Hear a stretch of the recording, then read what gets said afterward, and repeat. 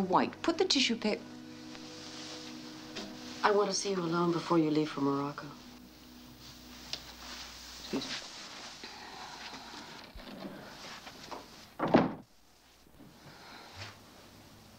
I don't want us to part enemies. Well, then you're expecting too much.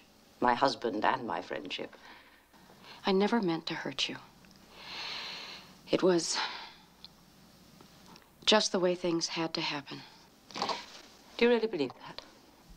Yes. Well, then I don't even know you. You're my sister, Frankie. We're different, of course, but we're sisters.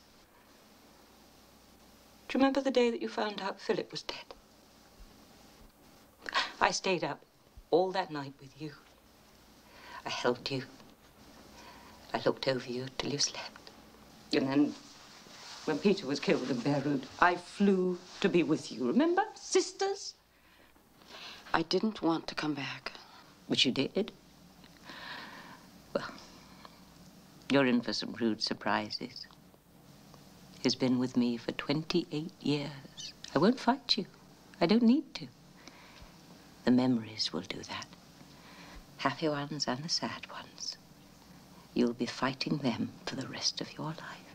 We'll make our own. Maybe. But being his wife is more than arranging seating at dinner parties.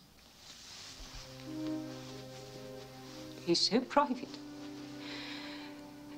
That was very hard for me at the beginning. I mean, you can see everything in my face. I'm an open book, but so little in his. So hard to know when he hurts and when he needs and when he doesn't. I had to learn that. So will you. It takes a long time. Of course, it takes more than time.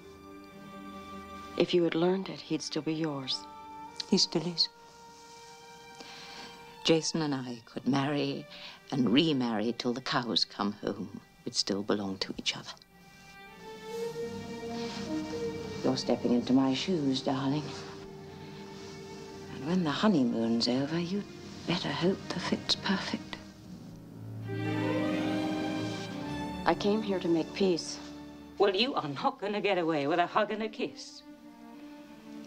You stole my husband. And I'll never forgive you.